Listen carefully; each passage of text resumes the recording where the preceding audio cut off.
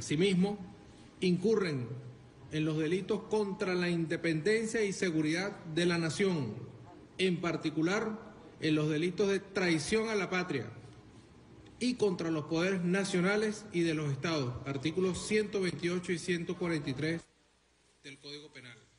Estos delitos también están contemplados en el vigente Código Orgánico de Justicia Militar.